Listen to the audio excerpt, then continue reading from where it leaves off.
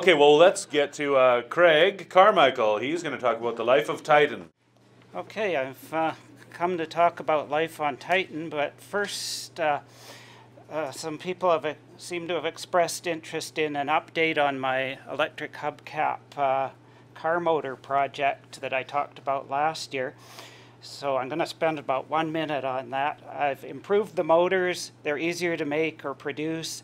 They'll be 95% efficient and I'm having uh, motor making workshops. If anyone wants one, see me, and I hope to have kits for making the whole motor this year. The torque converter is much closer to working, but it's not there yet.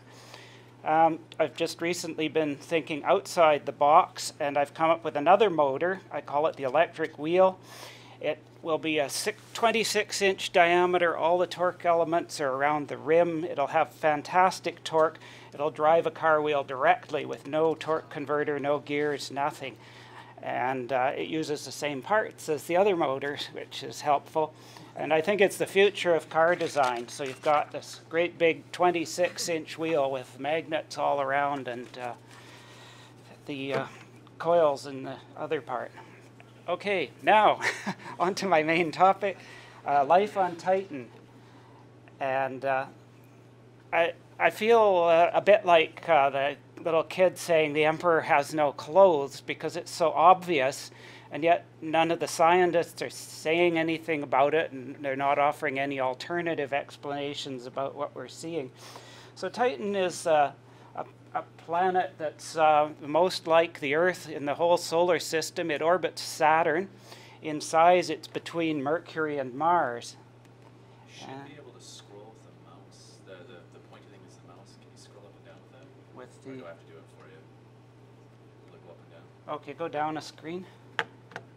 So, uh, a few Titan stats. It's uh, it it orbits Saturn every 16 days, so its day is uh, once every 16 Earth days.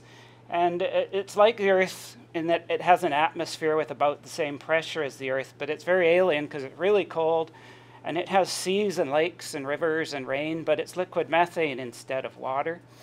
Um, gravity one seventh of the Earth and uh, the air, lakes, rivers. We'll get down to my uh, next point. Well, it's 30 Earth years. Go down, there's a map there and now the liquid methane on Titan, Titan has tremendous tides that are caused by orbiting closer to Saturn and then farther away. And of course, as it gets closer to Saturn, the liquid wants to rise up. And it basically has one face that faces Saturn and one that faces away. And the, so the tides actually go to those two points that you might call the Saturn pole and the anti Saturn pole. And uh, those uh, so the liquid all flows that way. And also, as it gets close to Saturn, the libration takes it back and forth 60 kilometers. So it gets washed like a washing machine and pulled this direction. And as it goes away from Saturn, it goes the other direction. So what you find is uh, almost predictable. There are four seas at the equator. They're at zero degrees long, and uh, 100, 270, 180, and 90 degrees. And they, uh, uh, there's channels that flow between them. And uh, why those take a north and a south, I'm not sure, but they all do. And so this also carries sediment that uh, moves Titan gradually around. It doesn't always face one face to Saturn like everything else does, because the silt keeps getting moved around and changes its center of gravity. So it actually makes one rotation relative to Titan uh, every thousand Earth years. And so in 500 years, the side that's facing away from Saturn now will face the uh, towards Saturn. And uh, say, well, why didn't the scientists notice some of this stuff? And uh, another screen. I've I've got a bunch of reasons. Oh, there's some some of the flow, silt flow from the Cassini imager and from the Huygens lander that's uh, oriented this way. It's flowing from uh, west to east. and the next screen, why didn't the scientists see some of this stuff? And there's a bunch of reasons that I don't have time to get into. Um, so go to up another one. Um, if we go up, put these, center these here. Uh, these are some of the images from the Huygens lander. These are the real raw images. Then what's been done is they've been contrast enhanced. Con the contrast has been magnified. Now this is one I did with the contrast magnified 300% for all of them. So the dark looks darker and the light looks lighter. What they've done is contrast enhanced them by uh, inconsistent amounts and uh, un unknown amounts. And what you have here that looks like a liquid with few features dimly seen under it, over here, what is that? Nobody can tell. And they've presented those right-hand ones as being the raw images. And I think they've fooled the whole science community as well as the public. And uh, another thing that makes it obvious that it's liquid is that it gradually gets darker as you're looking more downward, the same as it does on Earth in liquid. That isn't a characteristic of land. So uh, moving right along to the life, or okay, there's, there's another example of contrast enhancement. These are tide pools. There's the original picture. And if you make it black and white with heavy contrast magnification, you have no idea that there's liquid there. Okay, next. And uh, now getting Okay, keep going, keep going. Here's, I've pinpointed where the Huygens landed right here. The uh, science community has yet to place these last three lowest elevation images up. we don't have much time, so life, okay, there's lots of spectrographic evidence.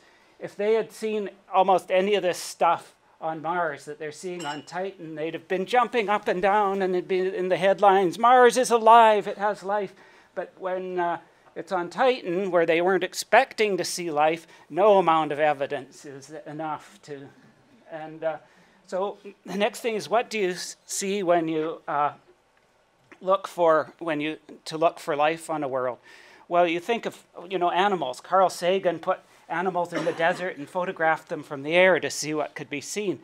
But if you look down at the earth and you look at the Amazon rainforest, you don't see monkeys and birds, you see a forest canopy. The vegetation is huge compared to the animals. And uh, so that's what you see as vegetation. And then you say, well, how, what kind of vegetation would we see on Titan? And the answer is really big vegetation because it's one seventh gravity. Trees can only grow so tall on Earth because of the gravity. You work it out, it's 120 meters roughly for the tallest trees. And on Titan, if you use the same formulas with one seventh gravity and liquid methane instead of water, trees can grow to over a kilometer tall. And they do. So uh, here's, and uh, there's aquatic vegetation on a scale that's completely unknown on Earth. Uh, where Huygens came down is in the duny tropical seas. I forgot to mention those tides ripping back and forth create dunes, which uh, are actually under the liquid. And here, so here's uh, the Im an image composed of many of the images of the lander that as it parachuted down, it was turning. So it, it took all these pictures. And scientists thought this was an island at first, before they decided that none of it was liquid. And uh, thought these were rivers and things. And uh, but you look at them, and they're, they're not like rivers. They're like like branches and leaves, and that's exactly what they are. Uh, you look at this one, there's a, a, root comes from up here, the stem goes up here, it goes along here and along here, and it has what look like sessile leaves coming off straight off the trunk there. And then the lower level image, you can see it's elevated up above the rest of the terrain. And this is another thing they said is it's uh, incredibly, uh, you know, huge terrain. And this leaf here is casting a clear shadow on the water. It's a huge leaf. And uh, so then the next picture is uh, from the ground, and they're calling these rocks, and yet there's stems and uh, things, and you can clearly see stems and leaves. Now, this wasn't very clear in the original images, but it's more clear in with processed images. And uh, if you look at the uh, land areas, the radar images are clearly showing forest that looks gives the same pattern as earth forests and you can't really say that it looks like anything but forest and uh, the last thing is uh, a radar image and uh, I gave this, I emailed this to a professional cartographer who looks at satellite images of the Earth every day. And I didn't tell him it was Titan. I just said, What do you make of it? And he said, Well, it's mixed forest and a shallow lake with, uh, it looks like vegetation growing out of the lake. And, the, and it looks like the water would come in here and go out there. You know, and then he was trying to guess what satellite had taken it. And he was perturbed because he couldn't figure it out. So I eventually, of course, told him it was Titan, and that threw him for a loop, and it was the Cassini. And uh, I think there's one more image, but it, no, sorry, the, the, it didn't get on the web. But it's uh, uh, just a landscape, and you can see all the trees, just forests from the pole down to near the equator where the seas take over.